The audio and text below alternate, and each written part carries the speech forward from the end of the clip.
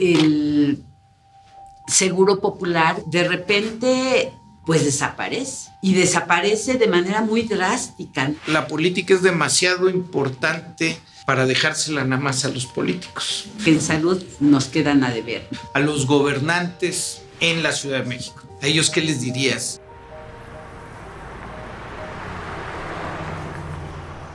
Buenos días, hoy me encuentro en el sur urbano de la Ciudad de México. Estoy por entrar a uno de los más importantes institutos de formación de personal de enfermería. Voy a platicar con Lupita, una de las profesoras en esta escuela. Ella lleva más de 30 años como enfermera y de formar a otras enfermeras y enfermeros. Platicaremos del país, de la ciudad y por supuesto del sistema de salud.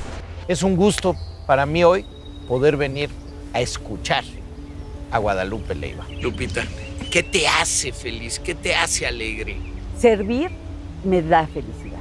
Servir al otro, el que mis conocimientos estén al servicio de los demás, me da felicidad.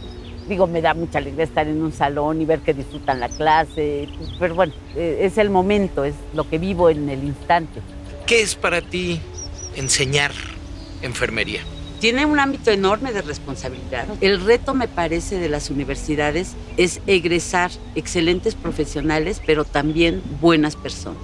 ¿Qué tienes de familia? Soy casada desde hace 30 años y tengo dos hijos. Tengo a un mercadólogo que acaba de titularse ahora en pandemia y a mi hija que está estudiando Derecho. ¿Cómo describirías al chilango, a la chilanga? Gente trabajadora, gente que aspira a tener una mejor, un mejor nivel de vida. Yo creo que eso sí nos marca si tú me lo permites, te quiero hacer algunas preguntas de política, porque nos parece que la política es demasiado importante para dejársela nada más a los políticos. ¿Me lo permites? Te lo permito y hablaré con la experiencia como ciudadana. ¿eh? Si tuvieras que enlistar tres cosas en el sistema de salud que hoy están mal.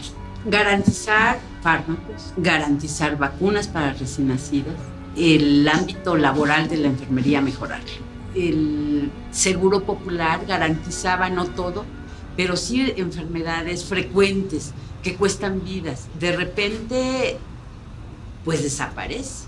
Y desaparece de manera muy drástica. Duele mucho ver cómo algo que debe de garantizar el gobierno, que es la salud, porque es un derecho, no lo estemos haciendo. Cuando tú escuchas vieja política, ¿En qué piensas? Corrupción. Los políticos anteriores nos han quedado también mucho, mucho a deber a los ciudadanos. ¿Te gustaría ver una opción diferente? ¿Qué te tendría que ofrecer esa opción? Tener servicios de salud disponibles, suficientes, seguridad, sentirme segura en el lugar donde yo vivo. Y por supuesto, ahorita me preocupa las oportunidades laborales. ¿Dónde falló Moreno? en salud nos quedan a deber muchísimo y por supuesto en educación. Eh, creo que deberíamos de tener garantizada la seguridad para mí como mujer, para mi, mi hija y sí siento miedo. ¿Has escuchado del Movimiento Ciudadano? Movimiento Naranja. Lo que sí sé es de que veo como una parte congruente. Vi mucha gente joven, yo la vi en mi colonia jovencitas que andaban entusiastas de movimiento ciudadano. Eso me dio confianza. Y tocaban y decían, y hay gente joven, lo cual me encanta. A los gobernantes en la Ciudad de México, tú y yo, como chilangos, ¿a ellos qué les dirías? Creo que debemos de mejorar los sistemas de transporte. Y he visto un menosprecio en la inversión en el metro que es fundamental. La movilidad de los ciudadanos debería de ser garantizado por el gobierno de la Ciudad de México. Un transporte público de buen precio y garantizando la seguridad y que lleguen y no se caigan, pues, pues sería bueno. Salud, invertir en salud y educación en todos los ámbitos.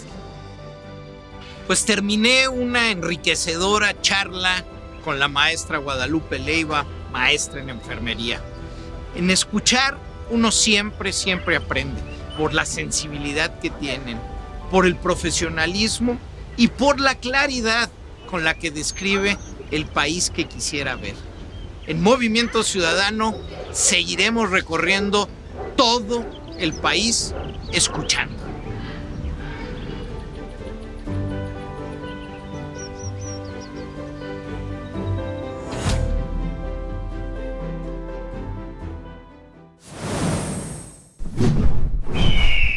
Movimiento Ciudadano.